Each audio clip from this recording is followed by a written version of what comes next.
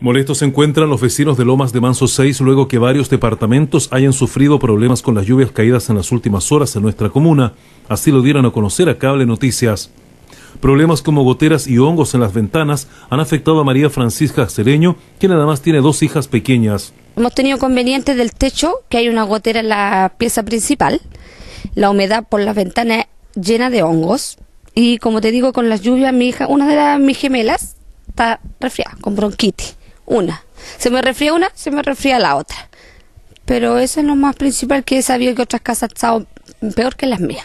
La hemos tratado de contratar, que él ha sido la presidenta que se ha movido por todas partes, pero no han dado una respuesta. Le han venido a echar un poco de cemento con para sillar, pero igual la gente se le entró el agua. Eduardo Serrano, otro de los vecinos afectados por las lluvias, señaló que el agua le ha entrado por las ventanas y el techo, Además, su esposa ha tenido complicaciones con un embarazo producto de la misma tensión. Me, he inundado por las ventanas, por el techo. Entonces hemos pasado una, semana horrible nosotros. Horriblemente porque no, no dormimos las noches, porque tenemos que estar preocupados de que no se moje, la, no se entre el agua, secando con toallas, con, con nylon, con cosas las casas adentro. Entonces algo, algo que no, no sé, nos tiene preocupado a todos. Y hay mucha más gente que está en el mismo problema que nosotros y, peor, pero no tienen el tiempo como para, para estar acá. Pues. Yo estoy en este momento, yo puedo hacerlo. Y la constructora se ha acercado, pero con soluciones de parche. A mí se me han subido tres veces al techo, cuatro veces al techo. Y no, y sigo igual, con los mismos problemas. Pasamos un fin de semana horrible.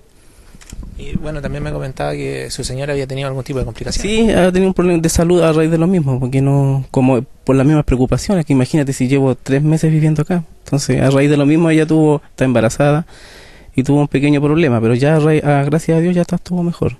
Pero ¿qué pasa si viene más lluvia? Entonces ese es el tema de nosotros. La constructora se ha acercado, pero no con soluciones. Siempre han, subido tres veces, cuatro veces, pero solamente con silicona. Y a mí no me sirve eso. Entonces no queríamos haber llegado a esto, pero ojalá que con esto se, se solucionen los temas y ellos nos solucionan a nosotros los problemas. La presidenta de la Junta de Vecinos, Karina Mellado, señaló que quieren respuestas por parte de la constructora encargada de realizar los departamentos.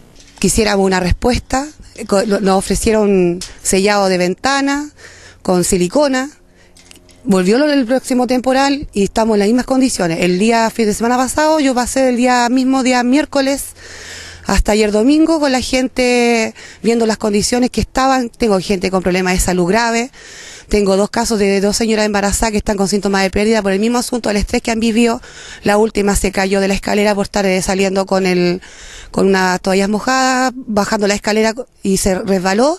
Ayer cayó al hospital con síntomas de pérdida, de pérdida y fue diagnosticada por un estrés severo que está con esos asuntos ahora. Soluciones de parche es lo que ha brindado la constructora a los vecinos de Lomas de Manso 6 y no algo concreto que es lo que esperan ellos. Habían conversaciones de principio con la constructora, tuvo que presionar para que actuaran de forma rápida, pero lo único que lo han dado a nosotros como solución ha sido silicón en las ventanas cuando se supone que las cornisas son las que hay un problema estructural en las cornisas, por algo el agua se desliza por las losas y llega hasta lo del, primer piso al cuarto. ¿Y cómo explican que el, el, primero o segundo piso, el techo, tiene agua por las vías de la luz, donde hay electricidad? Tengo una persona acá que tuvo que desalojar su casa porque el miedo era que un día fuera a prender la luz y hay que electrocutado ahí. Otro punto en que hace hincapié Karina Mellado es que en las cámaras en donde están las instalaciones eléctricas, ya que estas van a ras de piso y se inundan con las lluvias. Yo cuando hice la primera, eh, cuando se entregaba las casas, lo primero que hice fue, me llamó la atención esas cámaras en forma subterránea y saqué fotografía y pregunté por qué estaban ahí.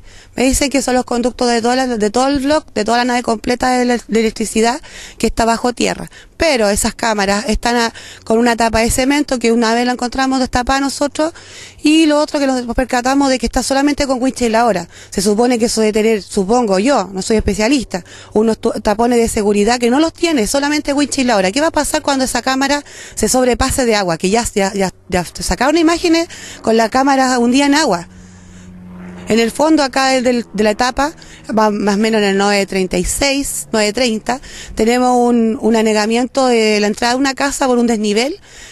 Eh, se viene en alto desde el cerro, se junta en la entrada de la casa y no tiene salida de agua por ninguna parte. Tenemos también hundimientos de terreno. El socavón cerca de los postes también que se han hecho hundiduras de, material, estacionamientos con socavones.